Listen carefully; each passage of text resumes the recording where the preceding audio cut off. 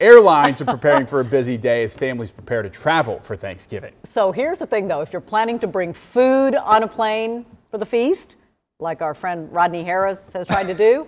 Brooks Baptiste has a look at the dishes allowed on board. Okay, Brooks, break All right, it down let, for let us. me tell you guys, this is very important information because let's face it, there are two types of people in this world. There are those who lug a, you know, casserole cross country to a Thanksgiving gathering. Then there are those like me and Rodney who prefer to just bring back some leftovers. Yes. We want to Yeah. take them home, right? So either way, if you are traveling by plane, the good news is most foods can actually be carried through a checkpoint. Let's take a look at this list. All right, so foods that are allowed. You've got baked goods. You've got your meat, so all your turkey, even if you like to mm-hmm. have ribs and whatnot, you can have that too. Casseroles, mac and cheese as well, yes. But let's talk mm-hmm. about those foods that are not allowed. You've got cranberry sauce, your gravy, uh, and even jams and jellies. Wine is even on mm. that list. I don't know how to feel about that, but according to TSA, if it is solid, you should have no problems getting it on the plane. But if you can spill it, spray it, or it's larger than 3.4 ounces, it must go in a checked bag.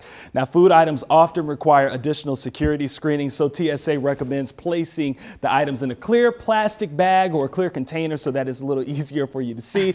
and uh, also, give yourself some extra time because you know they're going to be checking things, so just make sure you're there early so you don't have to worry about missing your flight.